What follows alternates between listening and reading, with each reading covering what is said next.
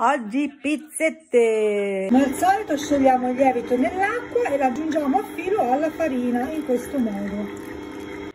Impasto lievitato, adesso lo stendiamo.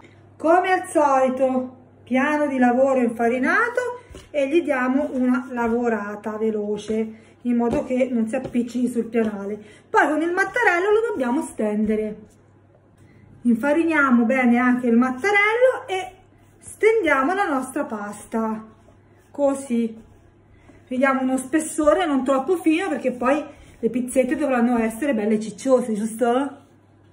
adesso che l'abbiamo stesa con un coppa pasta un bicchiere insomma quello che pare a voi diamo la forma alle nostre pizzette. Adesso sono pronte le lasciamo riposare e poi le possiamo infornare. Inforniamo le pizzette Adele come sono le pizze di zia? Buone! Yeah! Ed ecco le mie pizzette.